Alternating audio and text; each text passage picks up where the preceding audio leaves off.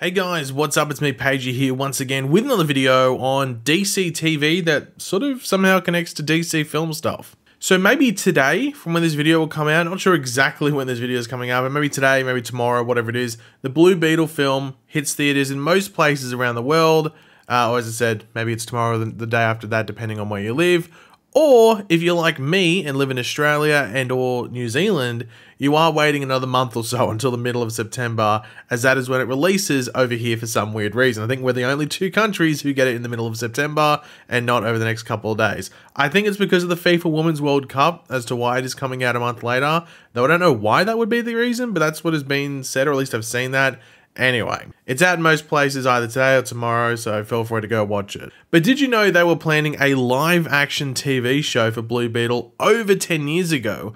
Well, yeah, and I've mentioned this in the past when talking about some other DC shows that never were or never moved past the pilot stage, like that Aquaman TV show, for example. But I've never talked specifically in focus about this cancelled Blue Beetle show and even shown some stuff around it. So that's what we're going to be doing today in this video. Now, this wasn't during the reign of the Arrowverse. This, is, this wasn't going to be an Arrowverse show. This was put into development during the day of the days of Smallville. Smallville was still in the air. Smallville would have been airing, just finished airing its ninth season, I think, around the time that this was being discussed. And if this show did happen, it might have either meant that the Arrowverse wouldn't have happened the way it did, or this would have been the start of the new DC universe that took shape on the CW following Smallville, because Smallville was entering its final season. Um, you know, Blue Beetle, you know, Blue it doesn't have the same ring as Arrowverse to me, but maybe some might like it. So back in 2010, I think this was around June, I think it was, Geoff Johns, who was the uh, the chief creative officer at DC Entertainment at the time,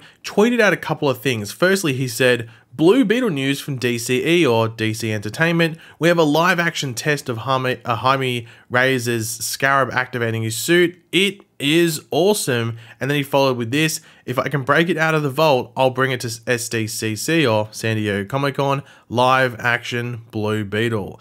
But, you know, what about that test footage of Jaime Reyes, you know, and his Blue Beetle? Well, it's out there. Let's watch it. A reminder before we watch it, this is test footage from back in 2010. So forgive the CGI. It wasn't even a show from back in 2010. It was low budget test footage to maybe get a show made. So just give it some slack. But here we go. Let's watch it.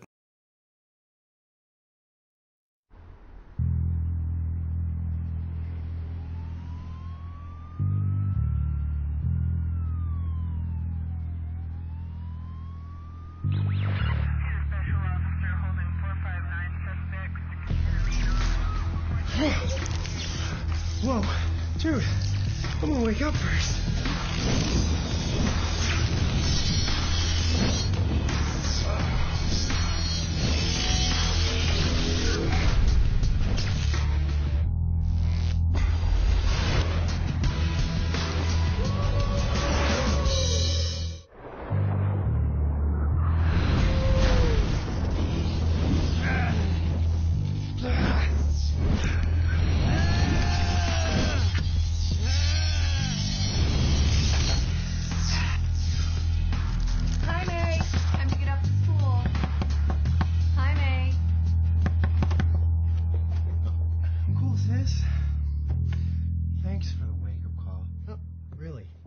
Awesome.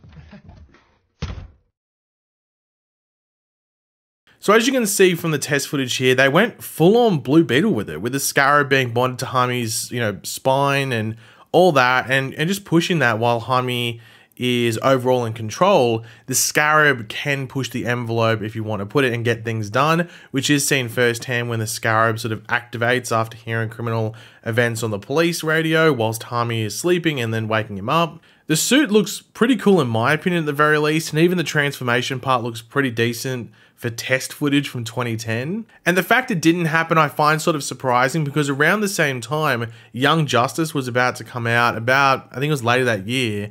And so it would have been development, they would have been animating it, they would have been recording all the voices and stuff like that. So they knew what was happening.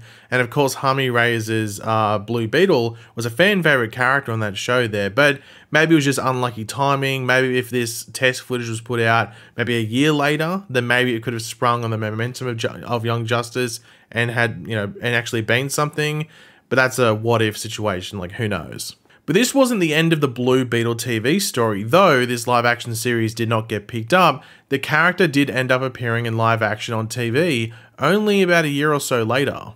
But yeah, it was about like a year or so after Geoff Johns' original tweets teasing the project, and of course, this was on Smallville, this appearance. Now, this was in the 18th episode. It's like the fourth last episode, I think it was, of season 10. So, yeah, it happened in one of the last handful of episodes ever in that show, as of course, Smallville ended in season 10. And this episode was entitled Booster. And funnily enough, it was actually written by Geoff Johns himself, but also directed by Clark Kent from Smallville himself, Tom Welling. And as you would guess from the title, this is the episode in which we meet Booster Gold from the future, but also where a run in with Booster Gold, due to being saved by him, sets Jaime on a path to a journey with the Scarab that will turn him into Blue Beetle, which crawls into his backpack after escaping due to the incident in which Booster Gold saves him. Now, not ignoring the elephant in the room with this, because it's a big elephant and a big suit to ignore, especially when comparing it to the test footage that we watched a bit earlier. But the suit in Smallville for Blue Beetle, yeah, it isn't great. It isn't great. Even at the time, it wasn't great. Like, I remember watching it when it aired back in the day, because I watched Smallville when it was coming out, and I was watching it thinking, uh, yikes, uh, that ain't great. But this was back in 2011, and it was only for one episode. This is like one episode that both Booster and Blue Beetle appear. They were never going to design something super or overly elaborate and detailed and just well overly appealing on the eye. I mean, could it have been better? 100%. But I think they also sort of wanted to play into like the like the mechanics of the beetle and everything, like the suit when it, you know, takes shape.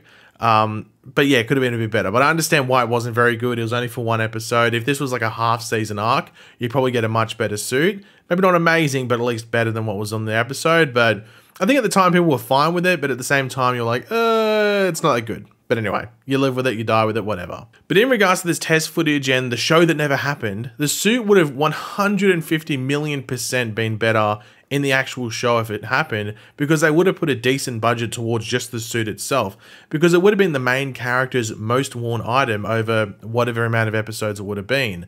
The suit design in the test footage is great in my opinion and would have been a good one to use with a bit better VFX for the most part. However, of course, in the actual show, when they would have been filming whatever scenes it would have been potentially, like a physical suit would have definitely been made. Uh, just way less bulky than the suit from Smallville, and you'd maybe hope that it would play into sort of, you know, they could have maybe done like sort of like like Nightwing on Titans, where it's a bit of like lycra, but it's black, so it looks a bit like armored and stuff. And then of course just do like the helmet and the arms and stuff like that. I mean, you could have definitely made it work. Uh, it just would have been very interesting to see, like in a 2011, 2012 show, what it would have looked like. But then again, like you had some shows like Flash and stuff that were only a couple years later, and they did some decent stuff. So maybe it wouldn't look too bad. But pretty much on the Jaime so, like story side of the Smallville episode, if you haven't seen the episode, it really is about him gaining control over the Scarab and everything like that.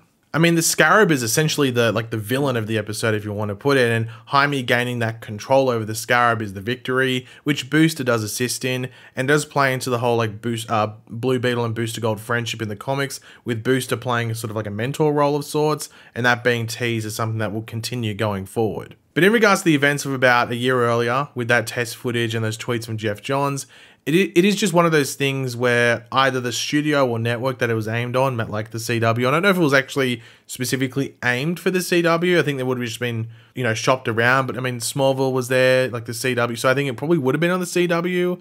It just seems, especially with Jaime, if he was like um like a teen character, it makes sense it would have been on the CW.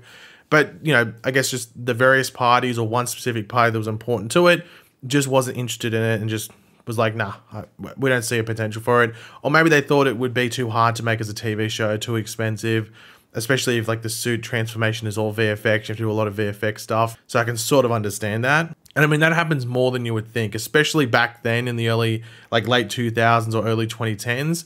And now that, but like, but now when you look at it, there is like streaming services everywhere. I mean, there's more streaming services than goddamn network channels. So there are just more avenues for shows to go down compared to back then. But I mean, would the show have had potential? Yeah. And of course, there's all, the whole like Ted Kord aspect. I mean, Ted Kord appears in that Smallville episode, so there is like the different Ted Kord aspects, which I'm sure they're going to dive into the movie. Like, like is not the first Blue Beetle. There's a history of Blue Beetles, and I'm sure the show would have potentially tied into that as well and explored it. Um, and also would have probably expanded and included villains from other uh, heroes, you know, because Blue Beetle doesn't have like a ridiculously deep roster.